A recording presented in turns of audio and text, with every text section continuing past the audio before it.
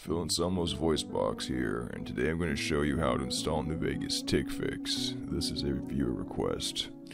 First off, you go to the Nexus page for NVTF. This fixes stutter at higher frame rates, or if you have a high refresh rate monitor. So, first off, all the links will be in the description as always. When you go to this page, you'll see this. Note the requirements. You need DirectX end user runtime, NVSE, and Visual C++.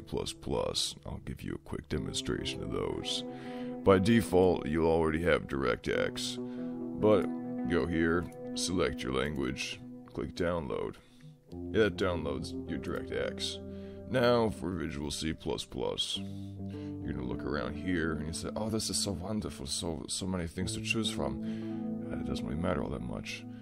Right now, we're going to pay attention to this area VC Redist, VC Redist, VC Redist. Right now, you care about the x86 version of it. it says Note Visual C 2015, 2017, 2019 all share the same redistributed files. So, in this case, I will go with x86. Following that, going over to New Vegas script extender, you need NVSE all, also. So look around here, you see it's currently maintained by people, that's super wonderful.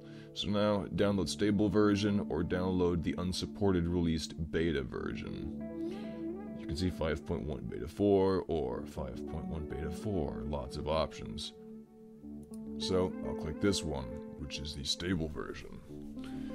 So now we have our requirements and we're going to download TickFix.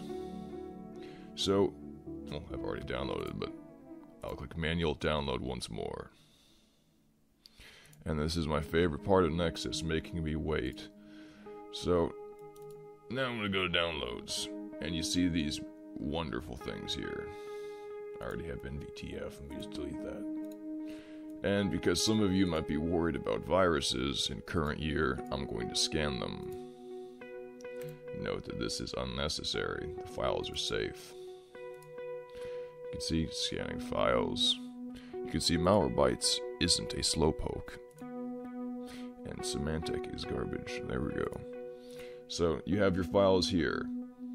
Note that I've already installed VCRedist. I've already installed DirectX. I've already done those things. I also have the latest version of NVSE. So all I'm going to do is copy this to my game folder. If you haven't done this before, you run this file and go through all the setup process. It's just a, a generic dialog box I'll show you. See, Visual C++, you agree, you install it, and then Microsoft yells at you, and that's about it. It takes a second to initialize it, take another second to install it. Once you've done that, you would go and install the other garbage, which would be DirectX. One way you can check your DirectX version is if you hit Start and type in DXDIAG, DXDiag. It says you must restart your computer, so I'll do that later. So DXDIAG, DXDiag. And then this shows you DirectX version 12, and you can check other things about your computer. It's super wonderful. I recommend you try it. So, now that you've done that, close this. You can delete it. It's fun that way. And now you have these files. So, extract files. Extract. Delete the compressed versions, you don't need them. Here's DirectX, you can install it just the same as the other one. Goes through the same process, you may need to restart. So now we have NVTF and we have NVSE. Installing NVSE is incredibly straightforward. You just grab your data, you grab your source if you're a modder, grab your DLL, your DLL, your DLL, your loader exe, your DLL, ignore the text files. Copy all this garbage. And now you're going to navigate to where your game is installed. So I have the D drive, D, program files x86, Steam, Steam apps, common, and then we're going to go down to Fallout New Vegas. You see here, data, see NVSE, and we have the various things for it. If you go in NVSE, you can see that we already have NVSE config, paste it in here. So just as a quick reminder, this is what your main directory is. This is called the root directory. If you go into data, this is your data folder. This is where NVSE would go. You can look around here, you can see all these fancy things. Pasting this. Come to think of it, I think I did this wrong. You can see I did data source overwrite. Cut these out because I believe NVSE goes here. Yep, it goes here. Yep, big brain time for me. So, replace the files here. There we go. Yep. As you can see, I'm really rusty because I haven't installed NVSE within the last week.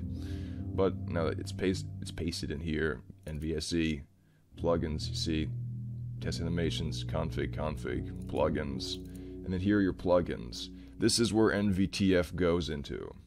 You can see I have Johnny Guitar, I have JipLN, and I have whatever this thing is, because I forgot. So, open another File Explorer window, go to Downloads, and then go to NVTF. NVSE, Plugins, and you'll see the DLL and the INI. You copy both of these,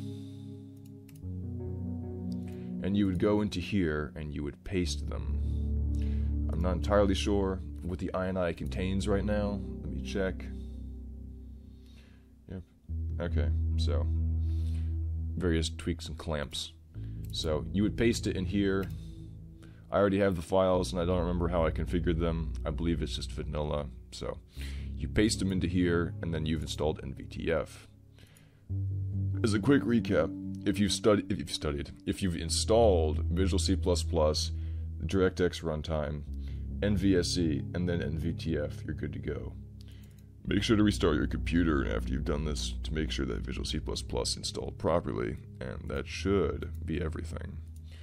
Note if you have weird issues in loading the game, such as an error with MSCRP DLL, or a runtime error, or if you have numerous other errors before you go in the comments telling me that my tutorial sucks, like you always do, verify integrity of cache in Steam. That will fix 99% of the issues because that's caused by a missing file.